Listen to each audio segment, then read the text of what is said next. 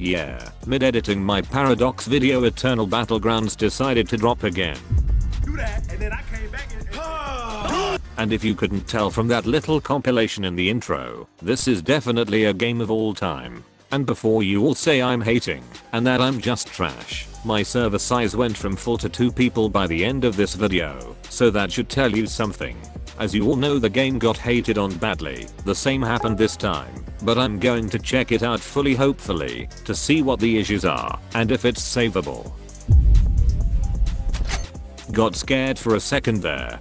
But not gonna lie, this is my last video, before Sparking Zero comes out, and I'm gonna be on that game every single day bruh. Y'all might not see me again. But I might try to make some videos on it, depending on the bot voice, and how I can implement it. Anyway I'm not gonna make this video too long. It's gonna be pretty chill, just to see whether you would want to play this game or not, and whether the combat is good. Without further ado, let's begin.